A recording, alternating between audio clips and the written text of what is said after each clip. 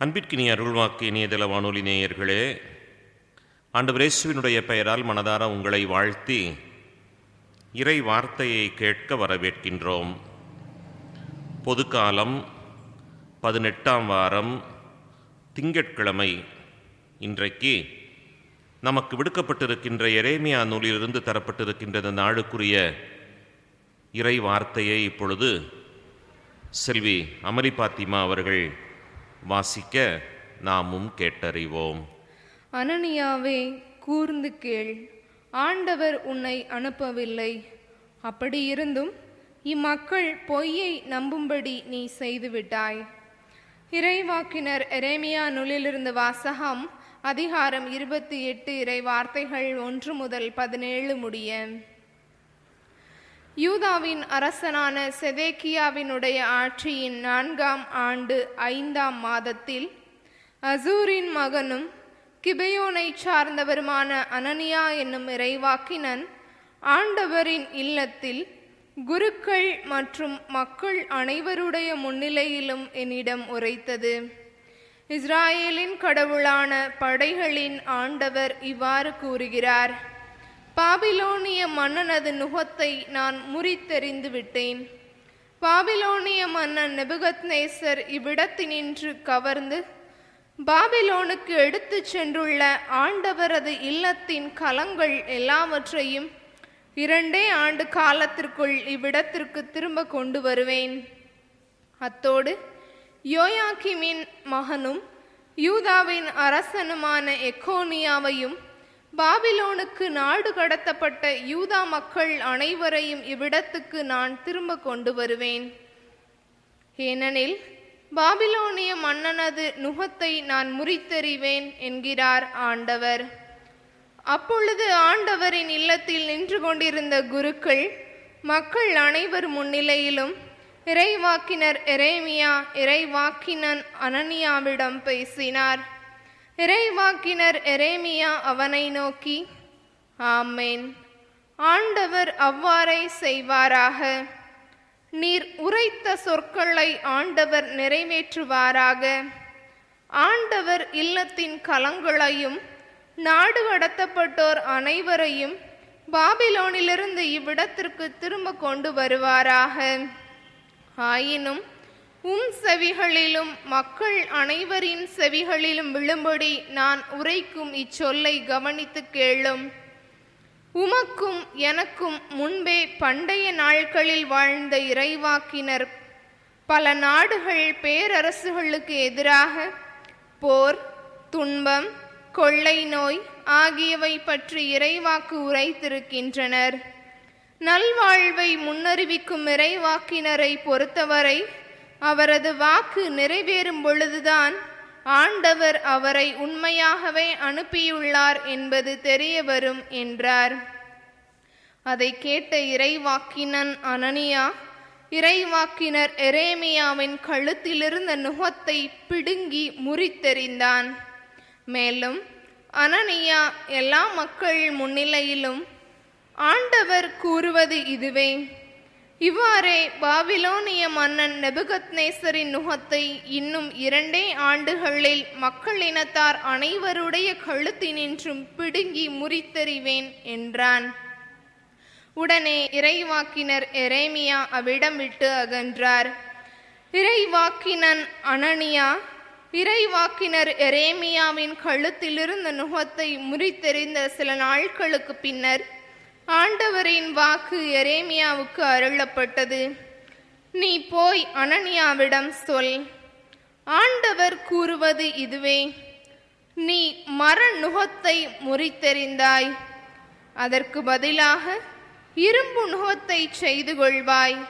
ஏனெனில் இஸ்ராயலின் கடவுளாகிய படைகளின் ஆண்டவர் கூறுகிறார் இந்த மக்கள் இனத்தார் அனைவரின் கழுத்தில் இரும்பு நுகத்தை வைத்துள்ளேன். ஆதலால் அவர்கள் பாபிலோனிய மன்னன் நெபுகத்நேசருக்கு அடிபணிந்து பணிவிடை செய்வார்கள். காட்டு விலங்குகளையும் அவனிடம் ஒப்புவித்திருக்கிறேன். அப்பொழுது இறைவாக்கினர் எரேமியா இறைவாக்கினன் அனனியாவிடம் கூறியது அனனியாவே கூர்ந்து கேள். ஆண்டவர் உன்னை அனுப்பவில்லை. அப்படி இருந்தும் இம்மக்கள் பொய்யை நம்பும்படி நீ செய்துவிட்டாய். எனவே ஆண்டவர் கூறுகிறார் இதோ நான் இவ்வுலகினின்றே உன்னை அனுப்பி வைக்கப் போகிறேன். ஆண்டவருக்கு எதிராக மக்கள் கிளர்ச்சி செய்யுமாறு நீ போதித்ததால் இந்த ஆண்டிலேயே நீ சாவாய். அவ்வாறே அதே ஆண்டு ஏழாம் மாதத்தில் இறைவாக்கினன் அனனியா மாண்டான். ஆண்டவரின் அருள்வாக்கு. இறைவனுக்கு நன்றி. அன்பிற்கினியவர்களே இந்த நாளுக்குரிய பதிலுரை பாடலானது தாவீதரசரது திருப்பாடல் நூற்றி பத்தொன்பது நமக்கு தரப்பட்டிருக்கிறது.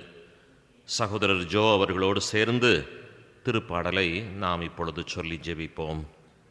திருப்பாடல் நூற்றி பத்தொன்பது ஆண்டவரே எனக்கு உம் விதிமுறைகளை கற்பியும். ஆண்டவரே எனக்கு உம் விதிமுறைகளை கற்பியும். ஆண்டவரே எனக்கு உம் விதிமுறைகளை கற்பியும். ஆண்டவரே எனக்கு உம் விதிமுறைகளை கற்பியும். பொய் வழியை என்னை விட்டு விலக்கியருளும்.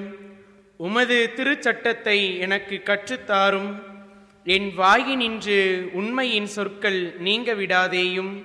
ஏனெனில் உம் நீதி நெறிகள் மீது நான் நம்பிக்கை வைத்துள்ளேன். ஆண்டவரே எனக்கு உம் விதிமுறைகளை கற்பியும். உமக்கு அஞ்சி நடப்போர் உம் ஒழுங்குமுறைகளை பற்றிய அறிவுடையோர் என் பக்கம் திரும்புவாராக. உம் நியமங்களை பொறுத்தமட்டில் என் உள்ளம் மாசற்றதாய் இருப்பதாக அதனால் நான் வெட்கமுறேன். ஆண்டவரே எனக்கு உம் விதிமுறைகளை கற்பியும். தீயோர் என்னை அழிக்க காத்திருக்கின்றனர். நானோ உம் ஒழுங்குமுறைகளை ஆழ்ந்து சிந்திக்கின்றேன். உம் நீதி நெறிகளை விட்டு நான் விலகவில்லை.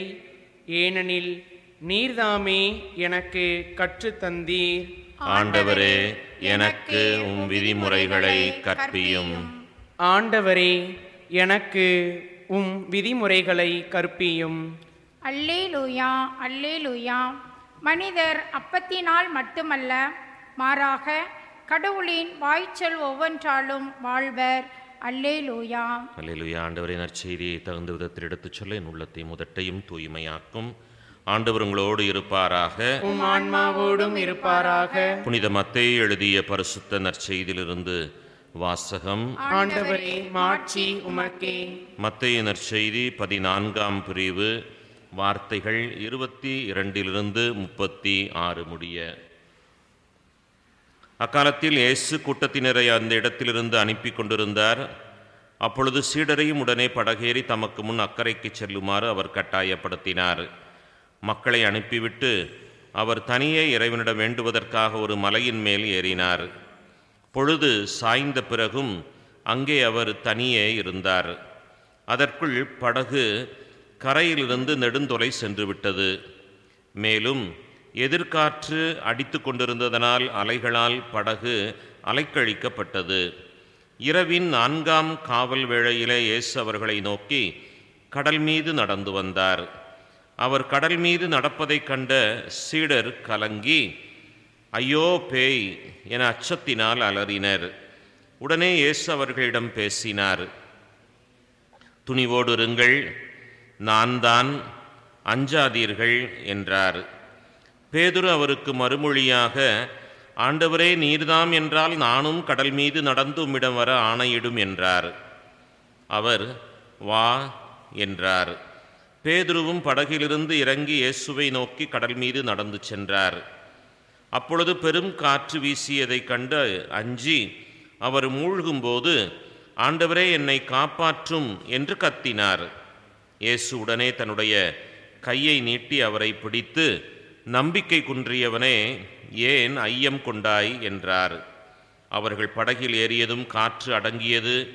படகில் இருந்தோர் இயேசுவை பணிந்து உண்மையாகவே நீர் இறைமகன் என்றனர். அவர்கள் மறுகரைக்கு சென்று கணேசரேத்து பகுதியை அடைந்தார்கள். இயேசுவை யாரென்று அறிந்துணர்ந்த அந்த இடத்து மக்கள் சுற்றுப்புறமெங்கும் ஆள் அனுப்பி எல்லா நோயாளர்களையும் அவரிடம் கொண்டு வந்தனர். அவரது மேலுடையின் ஓரத்தையாவது அவர்கள் தொட அனுமதிக்குமாறு அவரை வேண்டினர். தொட்டவர் யாவரும் நலமடைந்தனர். கிறிஸ்துவின் நற்செய்தி.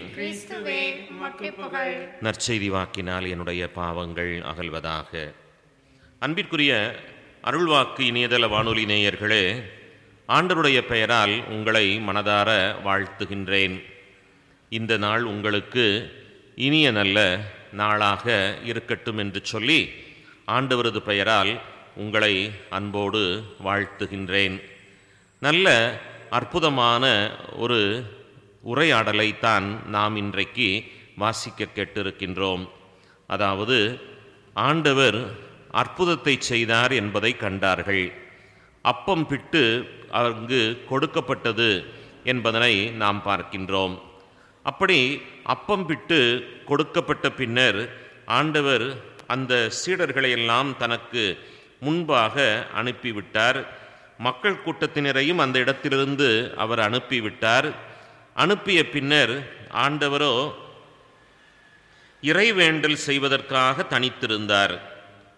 தனி ஜபம் என்பதை நாம் பார்க்கின்றோம். அதை ஆண்டவர் இயேசுவினுடைய வாழ்விலும் நாம் பார்க்கின்றோம். தனி ஜெபம் செய்து தன்னுடைய தந்தையோடு உரையாடி வல்லமையை பெற்றார் என்பதையும் நாம் அறிய பார்க்கின்றோம். இத்தகைய இந்த தனி ஜெபத்திலே ஆண்டவர் எண்ணற்ற நன்மைகளை அவர் பெற்றுக்கொண்டதனாலேயே அவருடைய வாழ்வு மிகச் சிறப்புடையதாக இருந்தது என்பதிலே எந்த மாற்று கருத்தும் இருக்க இயலாது என்பதனை நம்மால் புரிந்து கொள்ள முடிகின்றது. இத்தகைய இறை வேண்டல் செய்த பின்னர் அவரோ அங்கு நடந்து செல்லுகின்றார் கடல் மீது. இதை பார்த்த அந்த தூதர்களோ அவர்கள் ஐயோ பேய் என்று அலறுகின்றார்கள். பேதுரு ஆண்டவரிடம் நானும் இவ்வாறு நடக்கட்டுமா? என்று கேட்டபோது ஆண்டவரோ நடந்து வா என்று சொன்னார். அந்த கடல் பெரும் காற்று வீசிக்கொண்டிருந்த சூழலிலே அவர் மூழ்கப் போகும்போது ஆண்டவர் தன்னுடைய கரங்களை கொடுத்து அவரை எழுப்பிவிட்டு அவரை காப்பாற்றுகின்றார். நம்பிக்கை குன்றியவனே ஏன் ஐயம் கொண்டாய் என்று அவர் கேட்கின்றார். கிறிஸ்து இயேசுவிலே அன்பிற்கினியவர்களே எண்ணற்ற நன்மைகளை அவர் சந்திக்கின்றார் என்ற போதிலும் அவர் ஐயம் பெற்றவராகவே இருக்கின்றார். அந்த அச்சத்தாலேயே நம்பிக்கையிலே அவர் தளர்ந்தும் போகின்றார் என்பதை நாம் பார்க்கின்றோம். வாழ்விலும் நாம் ஒவ்வொருவருமே எண்ணற்ற நன்மைகளை நாளும் பெற்றுக்கொண்டே இருக்கின்றோம். இருந்த போதிலும் பெரும் காற்று போன்ற துன்ப துயரங்கள் நம்மிலே வீசுகின்ற பொழுது நாமும் இப்படிப்பட்ட சூழலிலே நம்பிக்கையிலே தளர்ந்து ஐயையோ ஆண்டவரே நாங்கள் மூழ்கி போகின்றோமே என்று சொல்லி நாமும் கதறுகிறோம். அவர் இருக்க எனக்கு என்ன பயம்? என்கின்ற அந்த மன துணிவை நாம் வாழ்வில் பெற்றுக்கொள்ளவே இன்றைக்கு அழைக்கப்படுகின்றோம் என்பதனைத்தான் இந்த நிகழ்வு நமக்கு உணர்த்துகின்றது. எத்தகைய பெரும் காற்றை கூட இறையாதே சும்மா இரு என்று அதட்டியவர் என்பதை நாம் பார்க்கின்றோம். அப்படி அதனை அதட்டி நிறுத்த அவரால் கூடுமாயானால் கடல் மீது நானும் வர எனக்கு வாய்ப்பழியும் என்று கேட்ட பேதுருவை நடந்து வா என்று அவர் சொன்னார் என்று சொன்னால் நம்முடைய வாழ்விலும் இத்தகைய நல்ல மேலான அற்புதங்களை ஆண்டவர் காணச் செய்வார் என்கின்ற அந்த மன உறுதியை நாமும் நம்முடைய வாழ்விலே பெற்றுக்கொள்ள விழைவோம்.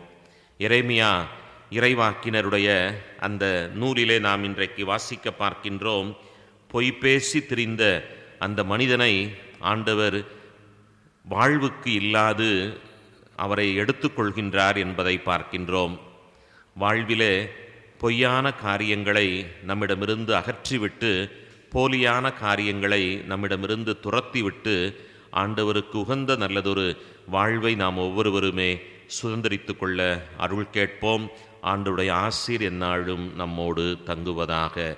எம்மோடு இணைந்திருங்கள் நேயர் பெருமக்களே. இறை வார்த்தையை கேட்டறிந்து வாழ்வாக்குவோம்.